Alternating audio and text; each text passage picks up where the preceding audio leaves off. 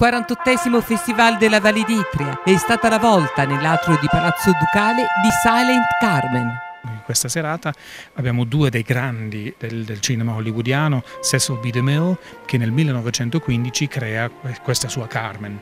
E poi, quando l'ha visto Charlie Chaplin, sempre nello stesso anno, nel 1915, voleva prenderla in giro e quindi ha creato la sua Burlesque on Carmen, che è un film di 30 minuti eh, che prende in giro la Carmen di Cecil B. DeMille.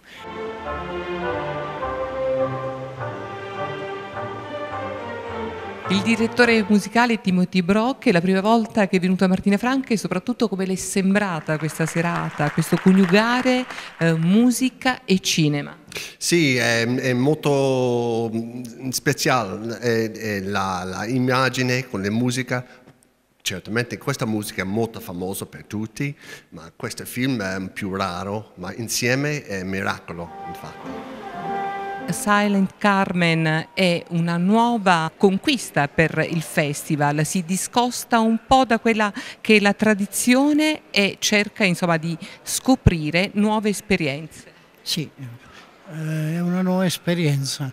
Come tutte le esperienze si rischia di pagare lo scotto, però devo dire che eh, dalla biglietteria avremo tutto esaurito. Questa sera la platea del, del Palazzo Ducale, questa nuova esperienza che va a coniugare in un film, un film muto, La Carmen, che è un'opera molto importante, con l'orchestra della Magna Grecia.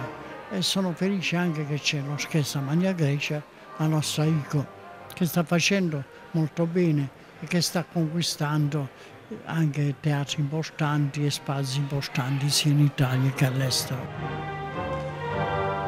Sono molto contento di essere qua in Mattina Franca, prima volta per me, con questa orchestra anche, molto, molto bravi, sono molto contento di essere qua. Le piacerebbe tornare quindi? Sì, è molto, solo in votazione eh, io accetto. So, ehm, eh, era grande, grande piacere per me. Stasera una serata particolare, fortemente voluta appunto da Sebastian Schwartz, un'esperienza nuova per il Festival della Valle d'Itria? Un'esperienza nuova in quanto cinema, cinema all'aperto, eh, che d'estate è sempre piacevole viverlo come esperienza. Volevo far vedere quanto eh, si è estendeva, se si può dire, l'influenza della lirica fino a Hollywood eh, o fino al, ai film dei, dei nostri giorni. Le sfide bisogna anche affrontarle, bisogna anche andare verso una innovazione graduale rispettando l'identità, per cui la peculiarità del nostro festival non viene messa in discussione dal nuovo direttore Sebastian Schwartz, il quale sta lavorando bene. Speriamo che alla fine i risultati gli diano ragione perché vi è venuto con tanto entusiasmo, ci sta, ce sta mettendo tutto e sta lavorando con molto equilibrio. Io sono felice stasera di vedere la platea del Palazzo Ducale piena, e ma come sono stato felice ieri sera dove c'è stato Gianni Sticchi al Teatro Verdi dove c'erano molti giovani che hanno seguito il film.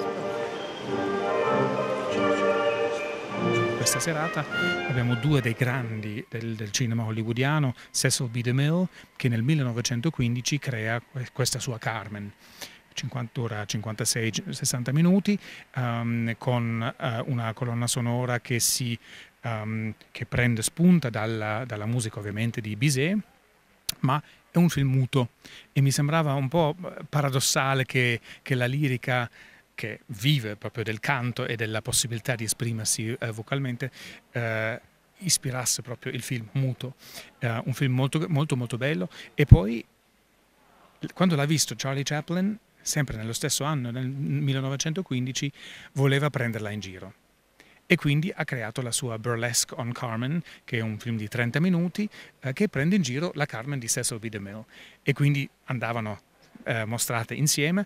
Per questa invece la, la, colonna sonora non sopravvive, non c'è e quindi eh, il maestro della serata, Timothy Brock, che è un grande specialista, ha creato, eh, lui è anche compositore, ha creato la colonna sonora che ovviamente si basa sulla Carmen di Bizet, sulle musiche del, della Carmen di Cecil B. DeMille e quindi ha creato una, una realtà sua.